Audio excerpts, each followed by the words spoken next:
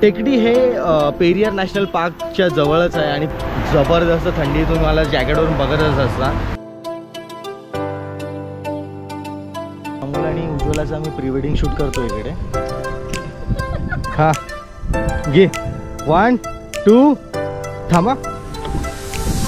तुला पानं उडवायचे one two three बोलू हे आहे कॉफीचं झाड आणि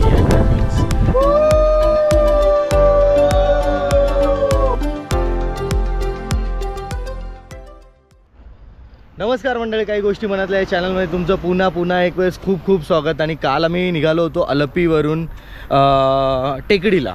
सो टेकडी हे मुन्नारमध्ये आणि टेकडी हे इडुक्की डिस्ट्रिक्टमध्ये टेकडी हे पेरियार नॅशनल पार्कच्या जवळच आहे आणि खूप फेमस आहे. म्हणजे खूप इम्पॉर्टंट अट्रॅक्शन आहे केरलाचं टेकडी. आणि काइंड ऑफ हिल स्टेशन आहे. कारण की काल आम्ही जेव्हापासून आलो आहोत जबरदस्त थंडी तुम्हाला जॅकेटवरून बघतच असता. कारण की पूर्ण ट्रिपमध्ये जॅकेट घातलं नव्हतं. त्याचं कारण असं होतं की खूप जास्त इकडे ह्युमिडिटी होती. आणि त्याच्यामुळे खूप जास्त घाम वगैरे ते येणा प्रकार चालू होता त्याच्यामुळे आम्ही आज पूर्ण ट्रिपमध्ये आज सगळ्यांनी जॅकेट्स वेअर केलेत आणि आत्ता आलो आहोत आम्ही टेकडीला. टेकडीला एका पॉईंटला थांबलो आहोत. तो पॉईंट तुम्हाला दाखवतो कसा आहे. जबरदस्त पॉईंट आहे. आणि आज आपण फिरणार आहोत टेकडी आणि टेकडीवरून आपण जाणार आहोत मुन्नार. आम्ही एका पॉईंटला थांबलो आहोत आणि तिकडे तर सगळे फोटो सेशन करतायत कारण की तो पॉईंट एवढा ऑसम आहे. समोर तर सगळ्या डोंगर रांगा दिसत आहेत आणि मस्त समोर तर ढग वगैरे आहेत तर इकडे सगळा फोटो सेशन चालू आहे आमचं. त्याचा ॲक्च्युली सीन असं झालं की काल रात्री आम्ही खूप लेट आलो इकडे. म्हणजे अलप्पीवरून निघालो होतो आणि त्याच्यानंतर जो रस्ता होता तो पूर्ण अलप्पी टू टेकडी पूर्ण घाटाचा रस्ता होता. आणि घाटाच्या रस्त्यांमुळे आमचा जो स्पीड होता तो ऑब्वियसली कमी होत होता. त्याच्यामुळे आम्हाला थोडासा यायला इकडे लेट झाला. आणि त्याच्यानंतर आम्ही इकडे घाटामध्येच एका ठिकाणी स्टे केला. आणि इकडेच एका ठिकाणी डिनर केलं. पण जे वातावरण होतं ते अमेझिंग होतं. कारण की खूप प्रचंड थंडी आहे. ॲक्च्युली टेकडीचं जे मेन अट्रॅक्शन आणि मेन गोष्ट जी आहे ती म्हणजे की टेकडीमध्ये डिसेंबर आणि जॅ डिसेंबर आणि जॅनमध्ये खूप जास्त थंडी असते. आणि एप्रिल आणि मेमध्ये खूप कडक उन्हाळा असतो. सगळे आता ब्रेकफास्ट वगैरे करायला जाऊ आणि नंतर मग आपण पुढचे पॉईंट्स वगैरे जे असतील तर ते कवर करूया. सध्या तर इकडे फोटो सेशनमध्ये सगळे खूप बिझी आहेत. हा आहे तर पूर्ण घाट आहे. आणि इकडे तर टेकडी करता जातो. इकडे तर हा एल पीचा रस्ता आहे. पूर्ण ॲक्च्युली एल टू तुम्ही टेकडी जर जाणार असेल तर तुम्हाला गाडी दिसी लावायची गरज नाही कारण की एवढा जबरदस्त गारवा आहे. खूप गार वारा चालू असतो. आणि वातावरणही सुंदर येतं ऑब्विसली त्याच्यामुळे तुम्ही तेही एन्जॉय कराल. आणि घाट तर येस येस येस घाट तर अमेझिंग आहे. म्हणजे घाट एन्जॉय पण करा बट सांभाळून एन्जॉय करा. कारण की खूप जास्त वळण आहे तिकडे.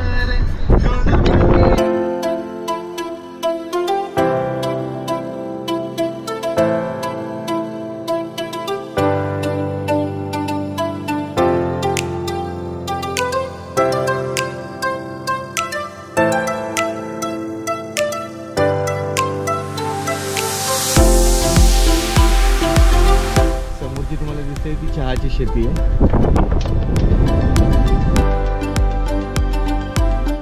समोरचा नजारा असला अफलातून आहे. हा इतर तर घाट आहे आणि समोर तर आहेत चहाचे मळे. ज्याच्याकरता केरला तर फेमस आहे ते म्हणजे चहाचे मळे. मुन्नारला जर तुम्ही येत असाल तर स्पेशली लोक याच करता येतात.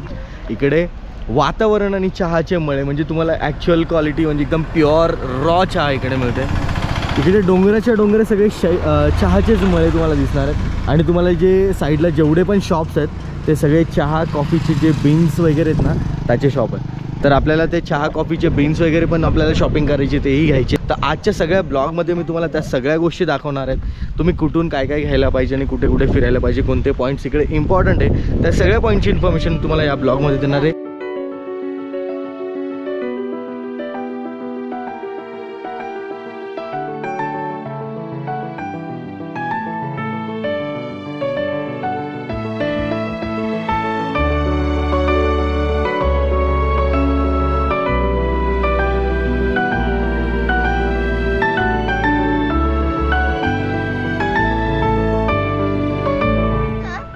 क्या आहे वो? ऑइल मसाला आहे हा। एका शॉपमध्ये आम्ही चहा घ्यायला थांबलो आणि तिकडे केकची क्वालिटी एवढी अमेझिंग आहे खूप छान केक आहेत म्हणजे आम्ही आता प्लम केक आणि ते ट्राय केले सुंदर केक होते आता चहा ऑर्डर केली आहे चांगला आहे ना? खूप भारी म्हणजे एकदम सिम्पल शॉप आहे पण क्वालिटी जी आहे ना एकदम त्याची सुंदर आहे ये वेज वेज या नॉन वेज अंडा? नो नो नॉन वेज एक है इसमें अंडा नहीं ना? नाही आहे अंडा नाही आहे बोला. लँग्वेजचा खूप मोठा प्रॉब्लेम आहे इकडे. ते काय बोलतात आम्हाला कळत नाही आम्ही काय बोलतो त्यांना कळत नाही. ॲक्च्युली पद्मनाभन स्वामी मंदिरात गेलो तर तिकडे आम्हाला खूप जास्त भूक लागली होती. बाहेर आल्यानंतर मी एका शॉपमध्ये गेलो आणि तिकडे मी असं रॅन्डम ही बर्फी घेतली होती. म्हणजे असं ओलं खोबरं असतं ना तर त्याची बर्फी. आणि ती मला एवढी आवडली एवढी आवडली. त्याच्यानंतर ती बर्फी मी भरपूर ठिकाणी बघितली भेटली नाही मला. आणि फायनली या दुकानात भेटली मला. अशा प्रकारे हा खोटं बोलतोय. नाही मी खरं बोलतो नाही खरंच हे पूर्ण बरणी मी घेतली आहे नारळवाडीची. आणि ही सगळ्यांना आता मी पाच रुपयाला घेतली. आणि ही सगळ्यांना आता सहा रुपयाला विकणार आहे. एक रुपया माझा मार्जिन काढेल मी. ॲक्च्युली आपण गाडी तिकडे समोर पार्क केली आणि आता निघालो आहोत चहाच्या मळ्यामध्ये. कारण की समोरच चहाचे मळे होते.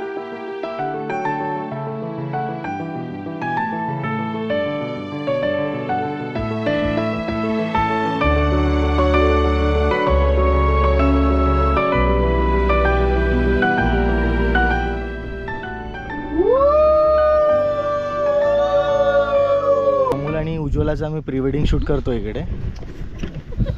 हा. घे. वन टू थांबा. तुला पानं उडवायचे वन टू थ्री बोललो की. आमल्या स्माईल वन हा घेतलं वन टू थ्री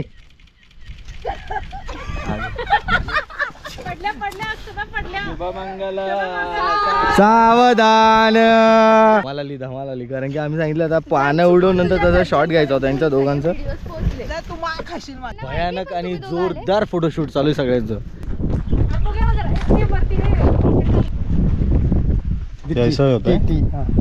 होळी लागत नाही. ओके रोल करा. रोलिंग ट्रेन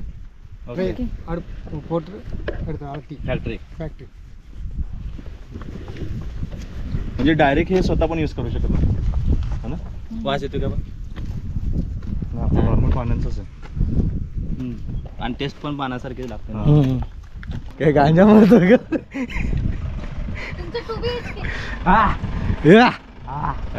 सो आपण आता ज्यांच्याकडून चहाच्या ट्रीबद्दल विचारपूस केली होती ना तर त्यांनी आपल्याकरता कॉफीचे पण सॅम्पल आणलेत. त्याच्यात हे कॉफी बिन्स आहेत. हे कॉफीचं झाड. आणि हे कॉफीचं झाड. Okay thank you so much thanks thank you हे आहे कॉफीचं झाड आणि हे आहे तर बीन्स मग याच्यावर नंतर प्रोसेस होते आणि आपल्याला ॲक्च्युअल बीन्स मिळतात ज्याच्यापासून आपण कॉफी बनवतो. नाईस हा. पण ॲक्च्युअल जर सिम्प्लिसिटी बघितली ना तर आम्ही जस्ट एक एक नॉर्मल इन्फॉर्मेशन त्यांच्याकडून विचारली की?